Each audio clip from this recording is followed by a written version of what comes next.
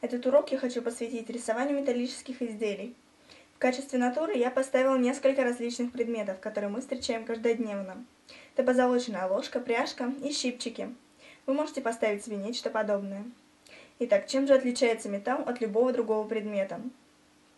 Тем, что он прекрасно отражает все окружающее, а также обилием бликов, которые контрастируют с темными тенями. Просто запомните, яркие блики и темные тени – вот и весь секрет. Итак, приступим. Для начала, как, как обычно, мы делаем построение. Я отмечу нижнюю линию стола.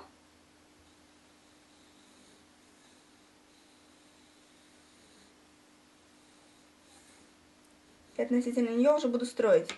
Мы замеряем. У нас ширина гораздо больше высоты. Поэтому я сначала захватываю высоту и укладываю ее в ширину. Отмечаем на небольшом расстоянии от линии стола. Высоту делаем ее также достаточно небольшой, потому что, чтобы мы могли уместиться в ширину листа. Конечно, лучше взять формат побольше. И старайтесь брать предметы с небольшим количеством построений. Теперь мы отмечаем ширину практически по, все, по всей ширине листа. Снова захватываю высоту и отмечаю.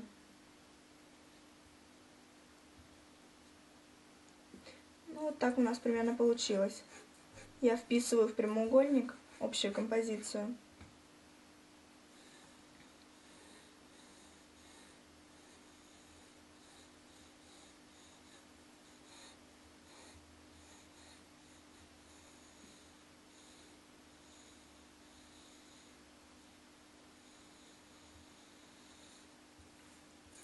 Вот так я примерно вписала. Я обратила внимание, что там, где уложилась первая высота на месте, как раз у нас край пряжки.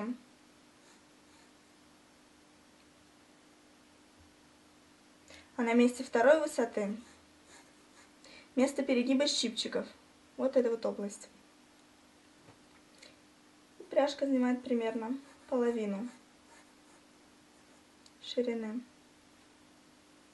Я замерю на всякий случай ширину пряжки и уложу ее в высоту. Да, где-то половина. Смотрим, что она у нас не доходит до самого нижнего края. И также немножечко в перспективе.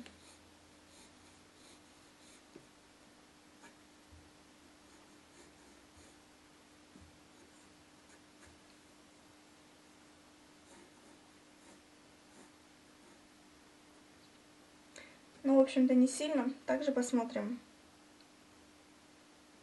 Немножечко углы у нее тоже не острые. Там один угол уходит. В общем-то, это потом уже в процессе все штриховки. Затем я строю ложку, смотрим она небольшой угол. Подхватывает, замеряю направление.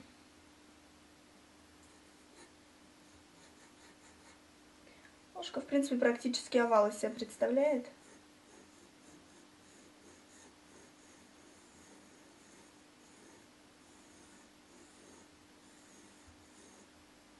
Вот я изобразила его.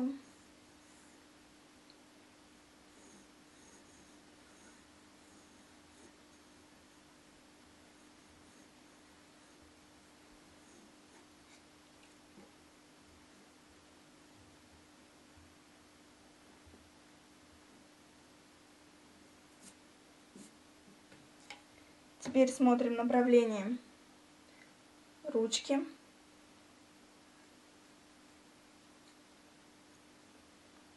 И там она также уходит в перспективе. Общем-то, достаточно сложное, конечно, расположение взяла. Если будете ставить себе сами, можно взять, конечно, немножечко и попроще. Смотрим, она расширяется у нас к дальнему краю. Сама по себе ложка просто такая. И до верхнего почти не доходит.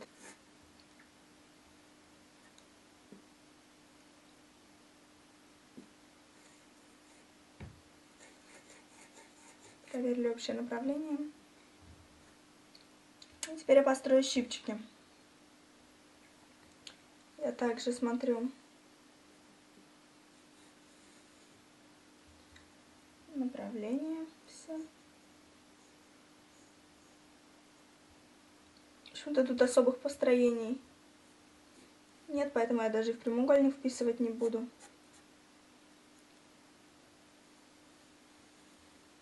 Формы достаточно простые. Чуть-чуть ручка не доходит до ложки.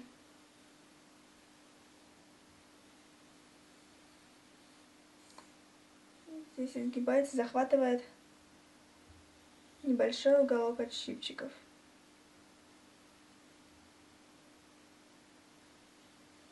Смотрим внимательно, тут, в общем-то, все на глаз делается. Это нужно сделать с особой внимательностью, постарайтесь.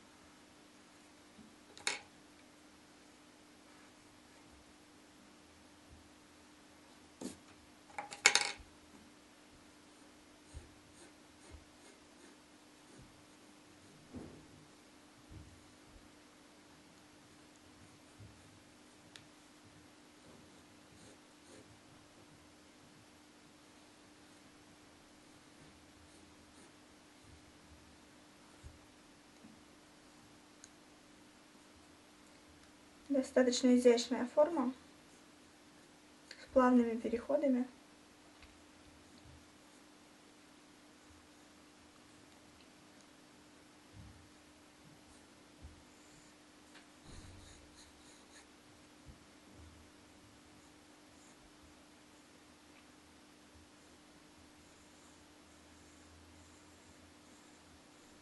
Вторая ручка дальняя уходит за пряжку.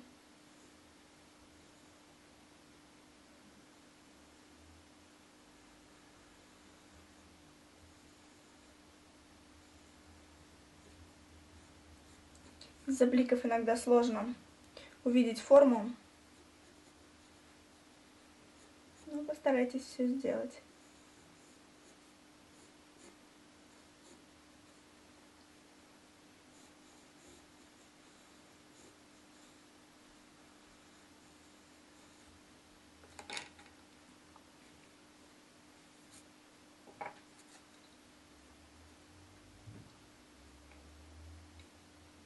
Смотрели еще раз внимательно. Теперь я сотру линии построения и намечу для себя дальнюю границу стола. Хотя ее, в общем-то, она достаточно высоко располагается на самом деле. И на лист она у меня не уберется, но я ее намечу чуть ниже, чем в реальности.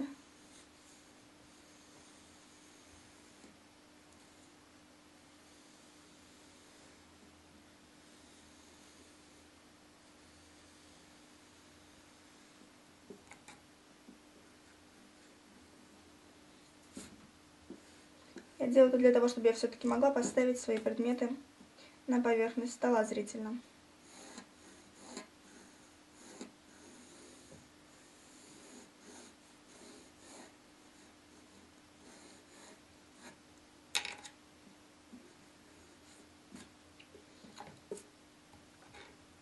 Ну вот, я наметила форму, теперь можно приступить уже к штриховке.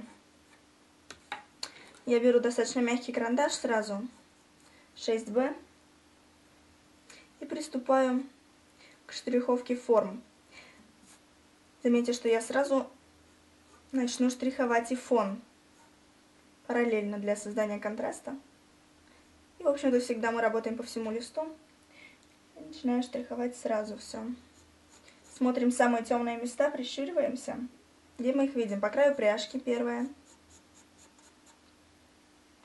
Сначала можно достаточно слабо, все в процессе потом утемним.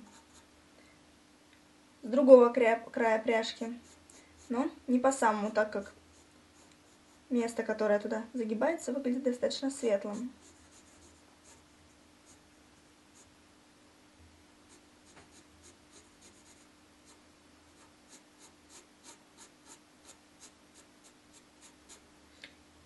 Вот я наметила вторую. Посмотрим здесь. Очень интересно располагаются отражения. Видна ложка очень хорошо. Ее очень легко намечу. Не так же темная тень достаточно. Там поверхность стола белая. И ручка.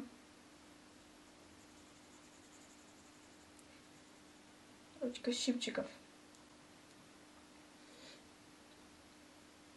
Я смотрю, как у меня будет располагаться сама светлая часть, блик. всю оставшуюся область немножечко заштрихую.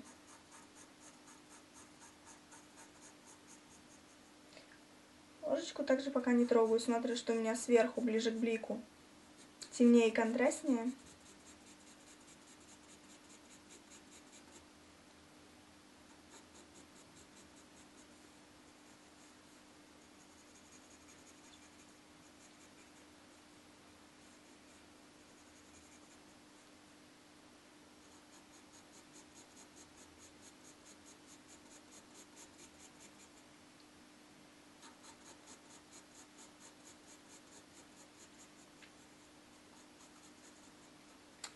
Пока ставлю так. Смотрим на щипчиках самые темные области.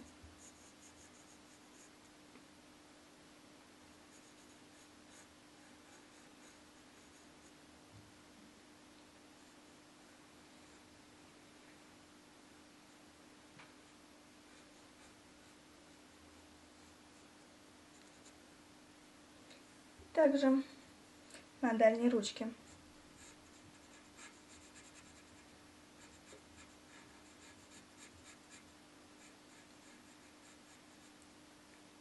На всех предметах достаточно сильные рефлексы от белого стола.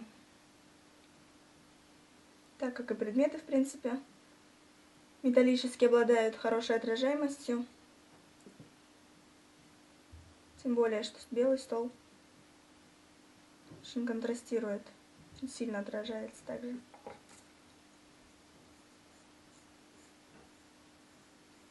Поэтому я оставила белый блик по краю.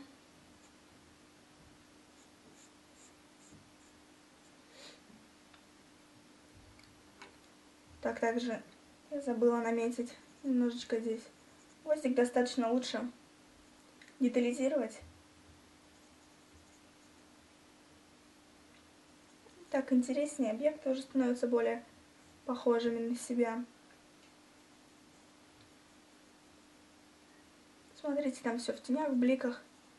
Разобрать достаточно сложно. Бывает.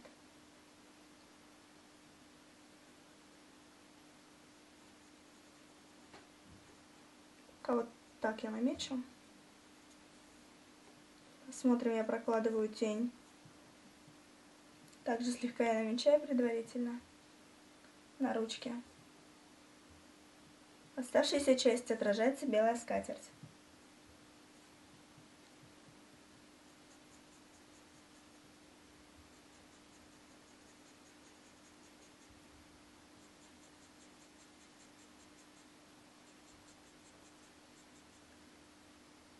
Здесь я пока проштриховываю достаточно однородно. Проработаем позже. Теперь смотрим на ложку. Очень темная граница, край.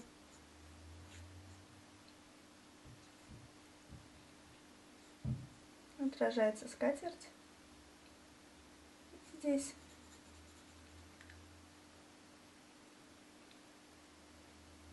Темная достаточно часть. Там отражается и мой планшет. Это, в принципе, мы достаточно четко намечаем, так как в металле достаточно это четко видно.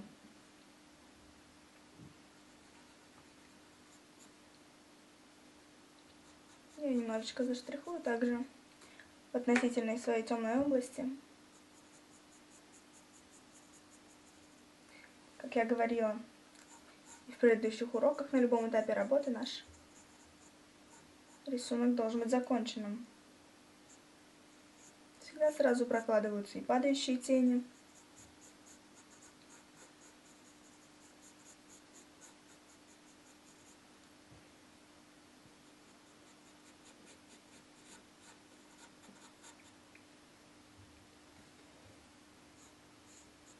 Мы, в принципе, много не видим, потому что освещение падает прямо на, на натуру. Сразу же я пока более мягким карандашом намечаю фон, потому что самое светлое место в работе это блики. Фон я сделаю пока у предметов.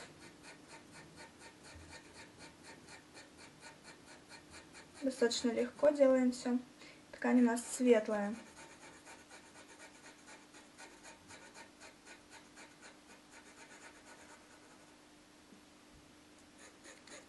С другой стороны то же самое.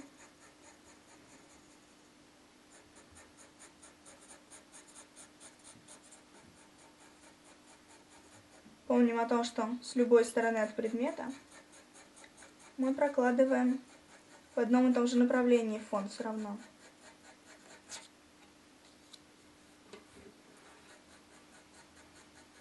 Если справа я начала в эту сторону, то и слева я тоже продолжу в эту же.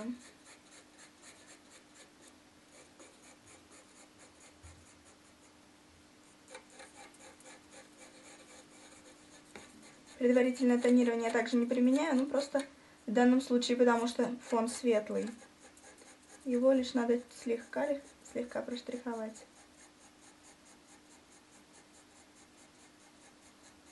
Делаем это для того, чтобы, я уже говорила, работа была более законченной. И наши блики больше выделялись на фоне.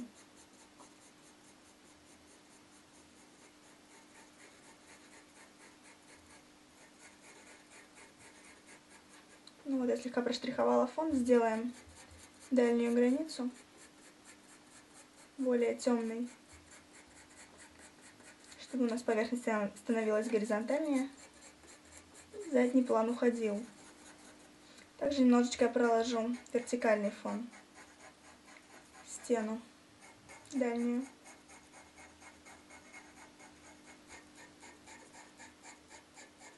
Делаю это для того, чтобы просто не оставлять белого листа.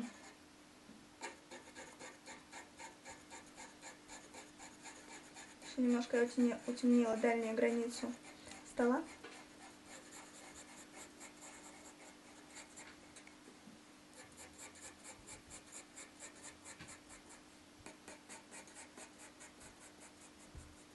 Не забываем плавности перехода.